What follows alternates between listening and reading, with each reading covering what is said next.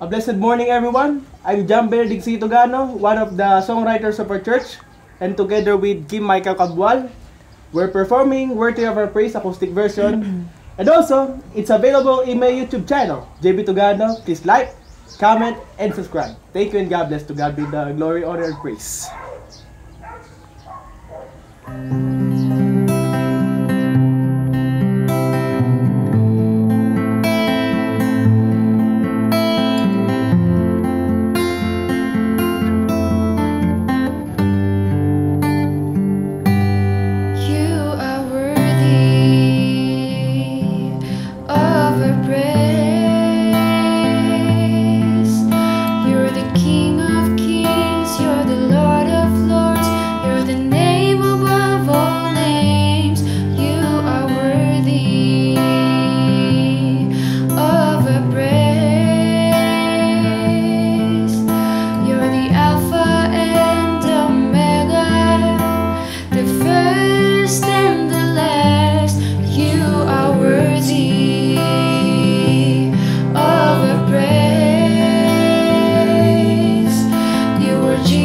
Christ, the Messiah, the Savior